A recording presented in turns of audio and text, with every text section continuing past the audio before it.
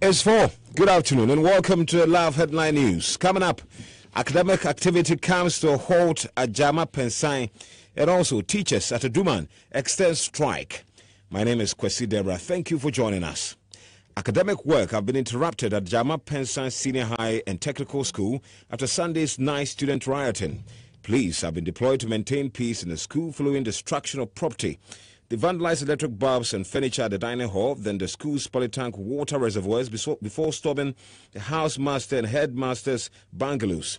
District Chief Executive Ose Sibe Bonsu, who rushed to the school upon hearing the news, is worried about what he says is becoming rampant student violence in the area. He, however, rules out closure of the school as a result of the latest incident. Uh, it's, too bad. It's too bad. We are not expecting such thing from um, the future leaders of the, of the country. That's why we want to sit down and find a lasting solution to the to, to the, the incident that's going on. It may spread to other schools. Ashanti Regional Student Representative Council says those students have received orientation on grievance communication. There's still work to be done. Raphael Sarkodie is coordinator. I, recall, I mean, there are about three schools hosted, uh, uh, as were the orientation hosted by Jama Pensan. So uh, for me, I mean, you look at the kind of response we had from there, you would expect that if they have any challenges, because what we told them that when you have a challenge, there is, there's a zonal level, Meanwhile, only two out of about 10 students who suffered minor injuries and admitted at Aboaso Government Hospital remain at the facility. Ekwiajiman is principal physician assistant.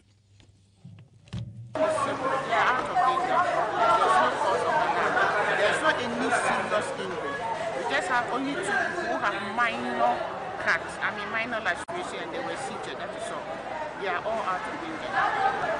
When are you going to discharge?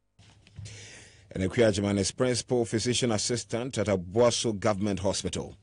Teachers of Aduman Senior High School in the Ashanti region have extended their sit-down strike to five days to demand the removal of the headmaster, Francis Yao Agozo. Their action was disrupted. Teaching and learning in the school has become necessary because teachers claim there's a leadership vacuum. Teachers are worried that head teachers' demeanor and disrespect to the teachers is stifling teacher initiative and commitment to work. According to them, he could not need he could need some counseling when removed from the post. The teachers, led by Kwesi Owusu, accuse the head teachers of, of victimizing the teachers, who often are not on his side. He explains they will continue to you continue the sit down strike till Friday until the head teacher is removed. They have resorted to measure because several petitions to both district and regional education directorate have not yielded any positive results. Just take us through. about about the headmaster and his you know conduct okay about our headmaster's conduct all i can say is that the, his, sometimes his utterances and his demeanor is uncalled for. When asked why students are being used as bait to address their concerns, the spokesperson, Kwesi says there's only one way to address the issue. Matron of the school, Nana Santua, recounts some instances where the head teacher insults and assaults some of his staff of the kitchen, accusing them of stealing. She recommends counseling for the head teacher. And really, it did happen. So he has no respect for teachers and stakeholders. That is one. The second one is show of extreme anger. The headmaster is always angry. And in one of our meetings, he told us that anytime he was not at home, his children and wife were very happy. Meanwhile, the head teacher, Francis Agozo, won't comment on the issue but says the matter is with the GES. All government health facilities without Health Facilities Regulatory Agency Council certification will no longer be accredited by the National Health Insurance Authority by June this year. Acting Registrar Matthew Yachireme says stakeholder consultation is in progress on enforcing the law. He was speaking at the Allied Health Professional Sensitization Workshop in Kumasi. Over the years, the government has been responsible, Ministry of Health has been responsible under Ghana Health Service to make sure that certain things are in place. And in fact, in terms of resources and equipment, I think I think the government facilities are okay, all right. But we need to ensure that that is the case, and we need to take them through the process of registration according to the Act. Acting Registrar of Allied Health Professionals, Dr. Samuel Poku, advocates legislative instrument to enforce council regulations. Absence of the LI that will operationalize the Act you know, the act just give the framework of the this, but how to operationalize the, the act, you know, um, will be taken from the LI. And you heard the Act Register of Allied Health Professionals, Dr. Samuel Opoku.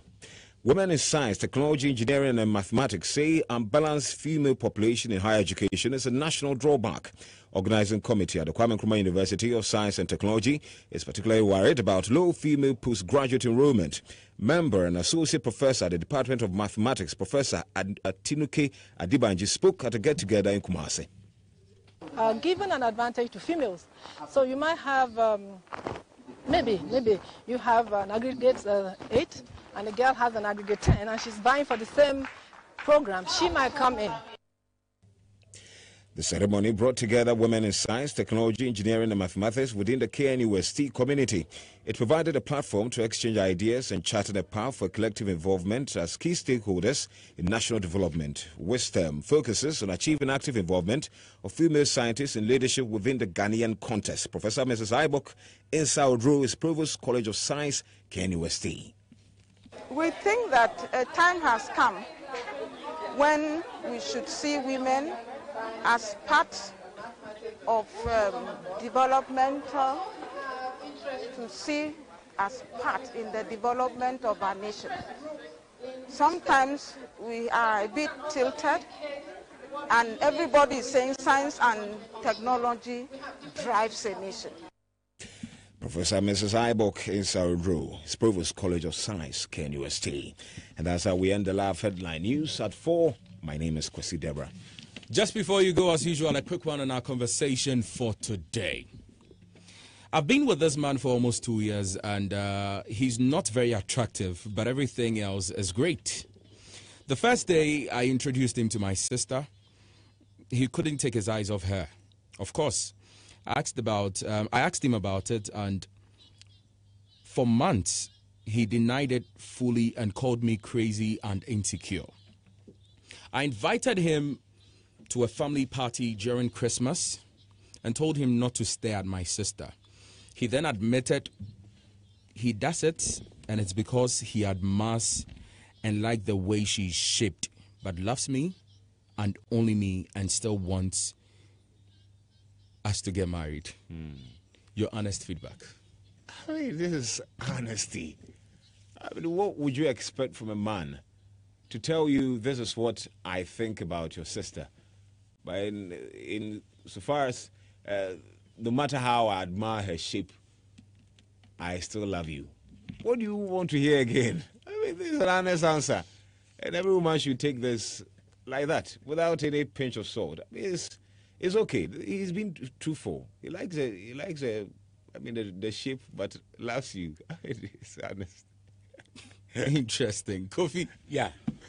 What do you make of um, I, I, I remember once a time Uncle Ebo just giving a general advice that if you just preparing to go into any marriage and then there are some signs that can just warn you before you tie the knot. You better just pay attention to it before you know you later come back to blame whatever.